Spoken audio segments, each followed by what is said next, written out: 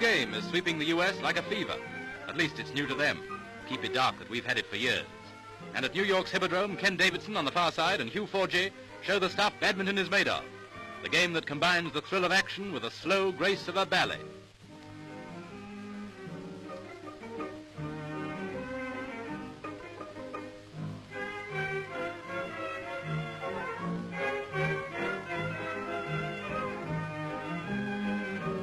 Want to be a badminton champion, you have to combine the dexterity of a dancer with the sleight of hand of a conjurer.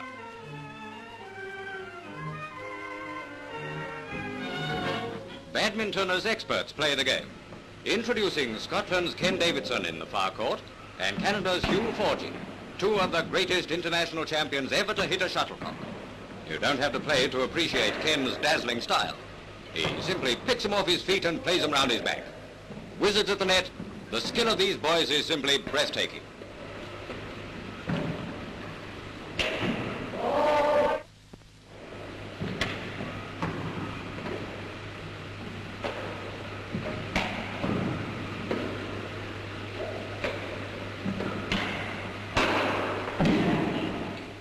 Ken and Hugh are now really warming up as they cram on the heat. Matching shot for shot, the maestros slam the shuttlecock to and fro in a battering rally. Biff, bang, soccer, what a game.